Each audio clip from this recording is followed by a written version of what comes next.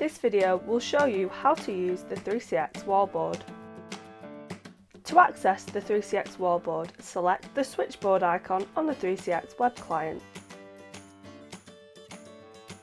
Now select Wallboard to access a variety of call statistics. On the wallboard you can view the number of calls waiting, the average talk time, the number of answered or abandoned calls, number of busy agents and the total calls.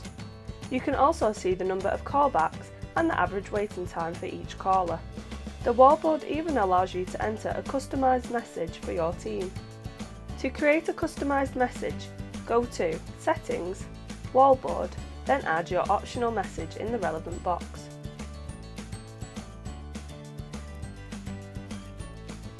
Your message will now appear on the 3CX wallboard.